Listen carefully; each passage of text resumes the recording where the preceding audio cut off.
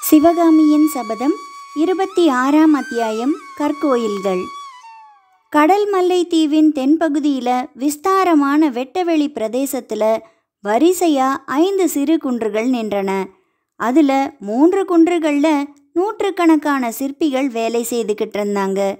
ஒவ்வொரு குன்றையும் குடைந்து கோவில் வடிவமாக அமைச்சுக்கிட்டு இருந்தாங்க. ஒரு கோயிலில் முன் மண்டபத்து தூண்கள் வேலையாகிக்கிட்டு இருந்தன.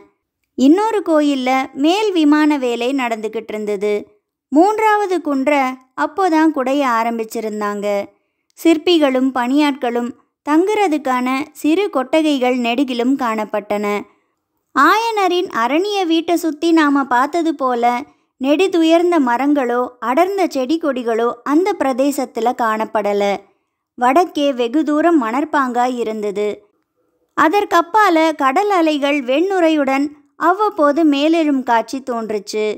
தெற்கிலும் மேற்கிலும் சிறு சிறு பாறைகளும் அவற்றை விட குட்டையான புதர்களும் வெகு தூரத்துக்கு காணப்பட்டன.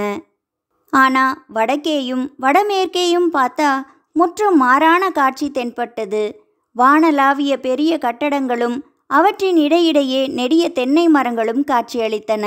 இன்னும் அப்பால நூற்றுக்கணக்கான கப்பல்களின் பாய்மரத்து உச்சிகளில் வரிசை வரிசையாக ரிஷப கொடிகள் காற்றுல அசைந்து ஆடிக்கிட்டு இருந்தது சிற்ப வேலை நடந்துக்கிட்டு இருந்த குன்றுகளுக்கு மத்தியில் ஒரு கல்யாணை கம்பீரமாக நின்றுச்சு அதன் பின்னால இன்னும் கம்பீரமாக அலங்கரிக்கப்பட்ட பல்லவ சாம்ராஜ்யத்தின் பட்டத்து யானை நின்றுச்சு யானை மீது வந்த சக்கரவர்த்தியும் அவருடைய குமாரரும் கீழே இறங்கி கல்யாணையின் பக்கத்தில் நின்னாங்க.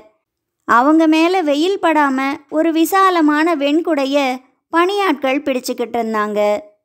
இதே இடத்துல ஏழு ஆண்டுகளுக்கு முன்னால மகேந்திர சக்கரவர்த்தியும் அவருடைய குமாரரும் வந்து இதே விதமா நின்னதுண்டு.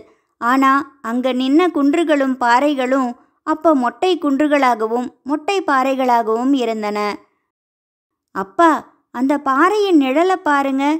அது யானையை போல இல்லையான்னா பல்லவ குலந்தழைக்க வந்த நரசிம்மவர்மன்.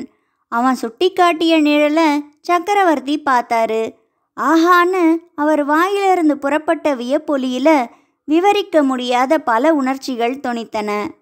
சற்று நேரம் மகேந்திரர் சிந்தனையில் ஆழ்ந்து வெளி உலக பிரஜையே இல்லாதவரா? நின்னாரு.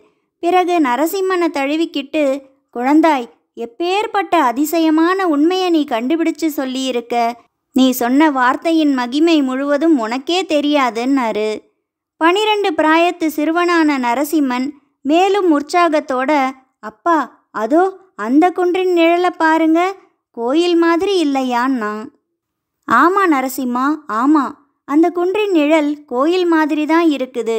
அதை கோயிலாகவே செய்துடுவோம். இந்த ஐந்து குன்றுகளையும் ஐந்து கோயில்களாக்குவோம். இன்னும் இங்குள்ள சிறு பாறைகளையும் யானையாகவும் சிங்கமாகவும் நந்தியாகவும் ஆக்குவோம். இந்த துறைமுகத்தை சொப்பன லோகமாக்குவோம்.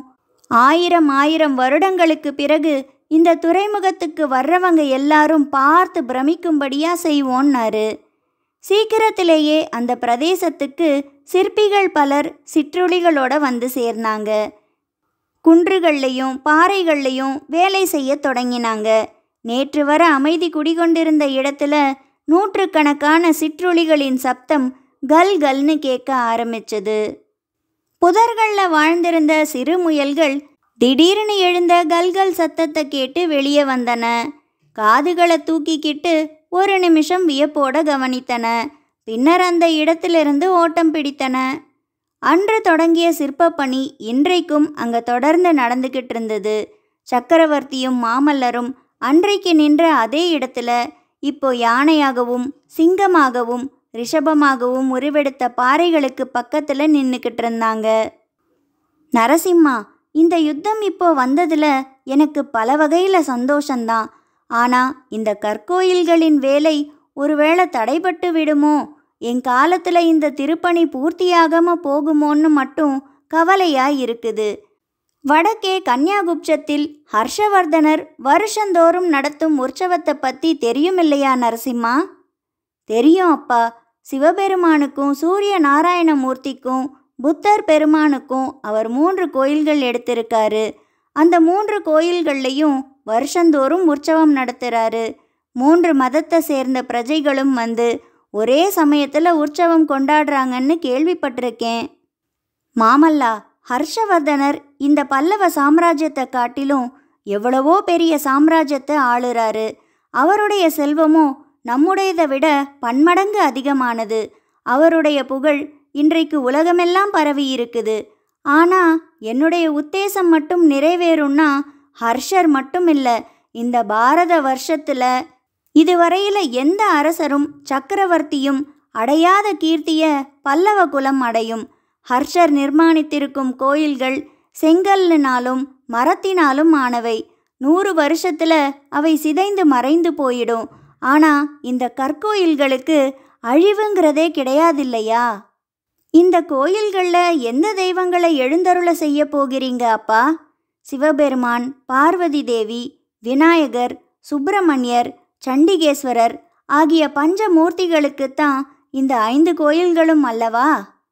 இல்லை நரசிம்மா ஹர்ஷவர்தனரை காட்டிலும் அதிகமாக ஒரு காரியம் செய்ய போகிறேன் இந்த தமிழகத்தில் பரவியுள்ள நாலு பெரிய சமயங்களுக்கும் நாலு கோயில்களை அர்ப்பணம் செய்ய போகிறேன் ஒரு கோயிலில் சிவபெருமானும் பார்வதி தேவியும் வீற்றிருப்பாங்க.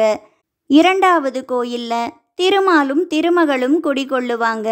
மூன்றாவது கோயில புத்தர் பெருமானின் பெரிய விக்கிரகம் அலங்கரிக்கும். நாலாவது கோயிலில் சமண சமயத்தை ஸ்தாபிச்ச வர்த்தமான மகாவீரர் எழுந்தருளுவாரு. ஹான்னு பெரு வியப்புடனும் பெருமிதத்துடனும் மாமல்லர் சொன்னார். ஆம் நரசிம்மா உண்மையில் நான் சமண சமயத்திலிருந்து விலகி சைவத்தை தழுவியதே நமது ராஜ்யத்தில் இத்தகைய சமய சமரசத்தை நிலைநாட்டுறதுக்காகத்தான். சைவ சமயமானது மற்ற சமயங்களையும் சம உணர்வுடன் கருதி போற்ற இடம் தருது. மற்ற சமயங்களோ அவ்விதம் இடம் கொடுப்பதில்லை. இதை முன்னிட்டே சைவத்தை மேற்கொண்டேன். நமது சாம்ராஜ்யத்தில் உள்ள நாலு பெரிய சமயங்களுக்கும் சமமான கௌரவம் கொடுத்து போற்ற நினச்சேன். இதையெல்லாம் வெளியிடுறதுக்கு என் மேலே புத்தர்களும் சமணர்களும் கொண்டுள்ள கோபம் தனியும் காலத்தை எதிர்நோக்கிக்கிட்டு இருந்தேன். அதுக்குள்ள சமண முனிவர்கள் அவசரப்பட்டு எல்லா காரியத்தையும் கெடுத்துட்டாங்க. சமண முனிவர்கள் கெடுத்துட்டாங்களா? ஆமாம் அவங்களால வந்தது தானே இந்த யுத்தம்? சமண காஞ்சியிலிருந்து நாற்புறங்களுக்கும் புறப்பட்டு சென்ற சமண முனிவர்கள் சும்மா இருந்துடல. நம் நெடுநாளைய சிநேகிதர்களை கூட நம் விரோதிகளாக்கிட்டாங்க.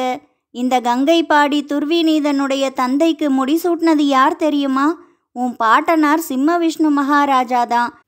அந்த துர்விநீதன் இப்போ தமது பரம்பரை விரோதியான சளுக்க மன்னனோட சேர்ந்துக்கிட்டு இருக்கான். புலிகேசியின் படை வீட்டில் ஜைன மகாகவி ரவி கீர்த்தியும் துர்விநீதனுடைய குரு பூஜ்யபாதரும் இருக்கிறாங்களாம் சைன்யத்துடன் சேர்ந்து அவங்களும் வந்துக்கிட்டு இருக்காங்களாம் உலக பற்றற்ற முனிவர்கள் அதிலேயும் கொல்லாமை விரதம் கொண்ட சமண குருக்கள் போர்க்களத்துக்கு வர்றதுன்னா ஆஹா அவங்களுக்கு என் மேலே எவ்வளோ துவேஷம் ஏற்பட்டிருக்கணும்? அதை பற்றி என்ன கவலை அப்பா? சமண முனிவர்கள் புத்த பிஷுக்கள் எல்லாரும் நம் விரோதிகளோட சேரட்டும். திரிநேத்திரதாரியான சிவபெருமான் அருளாலையும் சக்ராயுதத்தை ஏந்திய திருமாலின் கிருபையினாலையும் நாம வெற்றி அடைவோம். வெற்றி தோல்வியை பற்றி நான் அவ்வளவா கவலைப்படலை. என்னுடைய நோக்கத்துக்கு இடையூறு நேர்ந்துட்டுதேன்னு தான் வருத்தப்படுறேன்னு சக்கரவர்த்தி சொன்னப்போ அவருடைய குரல்ல துயரம் துணித்தது மாமல்லர் சற்று மௌனமாக இருந்துட்டு ஐந்தாவது கோயில் எந்த தெய்வத்துக்கு அர்ப்பணம் செய்ய நினச்சிருந்தீங்க அப்பான்னு கேட்டாரு. மேலை நாடுகளில் சில காலமாக புதிதாக ஒரு மதம் ஸ்தாபனமாயிருக்குதான் அதை ஸ்தாபித்த அவதார புருஷரின் பெயர் இயேசு கிறிஸ்துன்னு சொல்கிறாங்க அந்த புதிய மதத்தை பற்றிய விவரங்கள் இன்னும் எனக்கு தெரியலை. தெரிஞ்சதும் அந்த புதிய மதத்தின் தெய்வம் எதுவோ அதை அந்த ஐந்தாவது கோயிலில் எழுந்தருளச் செய்ய எண்ணியிருந்தேன். ஆனால் அதெல்லாம் பகற்கனவாக போயிடும் போல் இருக்கே. மகேந்திரரின் யோசனைகளை கேட்டு பிரமிச்ச மாமல்லர் ஏன் பகற்கனவா போகணும்? யுத்தத்தினாலே இந்த சிற்பப்பணி ஏன் தடைப்படணும்னு கேட்டாரு. தடைப்படாம இருக்கணுங்கிறது தான் ஏன் ஆசை? யுத்தம் முடியறதுக்குள்ள இந்த ஐந்து கோயில்களும் பூர்த்தியாகணும்னு நினைக்கிறேன். அதுக்காகத்தான் ஆயனரை இன்றைக்கு இங்கே வர சொல்லியிருக்கேன். அவர் நடுக்காட்டில் போய் உட்காந்துருக்கிறதால வேலை நிதானமாக நடக்குது. அவரை இங்கேயே தங்கி வேலையை துரிதமாக முடிக்கும்படி சொல்ல போகிறேன் அதோ ஆயனரும் வந்துட்டாரு. நரசிம்மர் ஆவலோட திரும்பி பார்த்தாரு. அவருடைய ஆவல் பூர்த்தியாச்சு. சற்று தூரத்தில் வந்துக்கிட்டு இருந்த சிவிகையில் ஒரு பக்கத்தில் ஆயனர் எட்டி பார்த்துக்கிட்டு இருந்தாரு. மற்றொரு பக்கம் பட்ட பகல்ல பூரண சந்திரன் பிரகாசிப்பது போல ஒரு காட்சி தென்பட்டது. அந்த பூரண சந்திரன் சிவகாமியின் வதன சந்திரன் தான்னு சொல்லவும் வேண்டுமோ? அடுத்து என்ன நடக்குதுன்னு நம்ம அடுத்த பாகத்தில் கேட்டு தெரிஞ்சுக்கலாம். நன்றி வணக்கம்.